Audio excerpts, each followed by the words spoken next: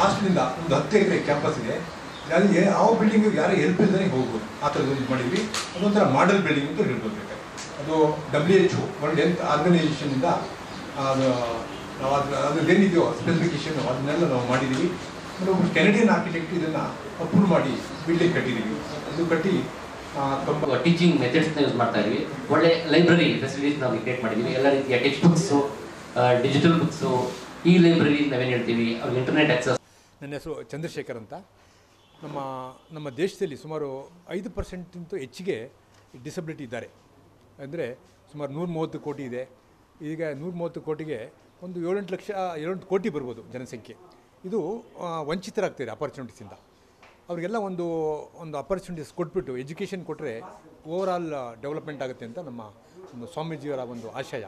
ಅದಕ್ಕೋಸ್ಕರ first education ಎಜುಕೇಷನಲ್ಲೂ technical education professional education ಕೊಟ್ಟರೆ ಅವ್ರಿಗೆ ಮುಂದೆ ಅವರು ಸ್ವಂತವಾಗಿ ವರ್ಕ್ ಮಾಡ್ತಾರೆ ನಾರ್ಮಲ್ ಥರ ಲೈಫ್ ಲೀಡ್ ಮಾಡ್ತಾರೆ.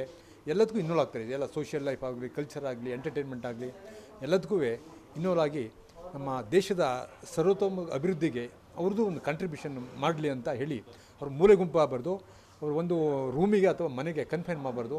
ಎಲ್ಲರಿಗೂ ಅವ್ರಿಗೆ ಎಕ್ಸ್ಪೋಸ್ ಆಗಿ ಸೊಸೈಟಿ ಬೆರಿಬೇಕು ಅನ್ನೋ ಒಂದು ಉದ್ದೇಶದಿಂದ ನಮ್ಮ ಇನ್ಸ್ಟಿಟ್ಯೂಟ್ ಸ್ಟಾರ್ಟ್ ಮಾಡಿ ಸುಮಾರು ಎರಡು ಸಾವಿರದ ಹೆಚ್ಚು ಮಂದಿ ಇಲ್ಲಿ ಕಂಪ್ಲೀಟ್ ಮಾಡಿ ಸ್ವಂತವಾಗಿ ಇದ್ದಾರೆ ಈಗ ಸ್ವಂತ ಕೆಲಸ ಮಾಡ್ತಾಯಿದ್ದಾರೆ ಬೇರೆಯವ್ರ ಜೊತೆ ಎಲ್ಲ ವರ್ಕ್ ಮಾಡ್ಕೊಂಡು ಒಳ್ಳೆಯ ಹೆಸರು ಇದೆ.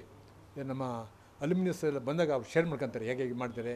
ನಮ್ಮ ಇನ್ಸ್ಟಿಟ್ಯೂಟ್ ಎಷ್ಟೊಂದು ಹೆಲ್ಪ್ ಆಯಿತು ಅಂತ ಒಂದು ಇದನ್ನು ಶೇರ್ ಮಾಡ್ಕೊಂಡು ಈಗ ಅಭಿವೃದ್ಧಿ ಜೊತೆಗೆ ಎಲ್ಲ ಇದು ಮಾಡ್ಕೊಂಡು ನನಗೆ ತುಂಬ ಇದು. ನಿಮ್ಮ ಸಂಸ್ಥೆಯಲ್ಲಿ ವಿದ್ಯಾಭ್ಯಾಸ ಮುಗಿಸಿದಂಥ ವಿದ್ಯಾರ್ಥಿಗಳಿಗೆ ಈಗಾಗಲೇ ಕೆಲಸ ಸಿಕ್ಕಿದೆಯಾ? ಹೌದು ಹೇಳ್ತಾ ಇರೋದು. ಎಲ್ಲ more than eighty five percent ಕೆಲಸ ಸಿಕ್ಕಿದೆ. ಆಮೇಲೆ ತುಂಬ ಜನ ಒಂದು more than fifty ten percent entrepreneurs ಅವರೇ ವರ್ಕ್ ಮಾಡ್ತಾರೆ. ಇಂಡಿಪೆಂಡೆಂಟಾಗಿ ಮಾಡ್ತಾರೆ ಸ್ವಂತಾಗಿ. ಹಾಂ ಎಕ್ಸಾಂಪಲ್ ಈಗ ಆರ್ಕಿಟೆಕ್ಚರ್ ಹೇಳಬೇಕು ಅಂದರೆ ನಾನು ನಾನು ಆರ್ಕಿಟೆಕ್ಚರ್ ಎಚ್ ಓಡಿ ನನ್ನ ಸ್ಟೂಡೆಂಟ್ಸು ಸುಮಾರು ಹತ್ತು ಜನ ಮೈಸೂರಿನಲ್ಲಿದ್ದಾರೆ. ಅವ್ರು ನನಗಿಂತ ಚೆನ್ನಾಗಿ ಇದು ಮಾಡ್ತಾರೆ ಅರ್ನ್ ಮಾಡ್ತಾರೆ ಈಗ. ಎಲ್ಲರೂ ಒಂದು ಡಿಸೈರ್ ಇಟ್ಕೊಂಡು ಮನೆ ಸ್ವಂತ ಕಟ್ಕೊಂಡು.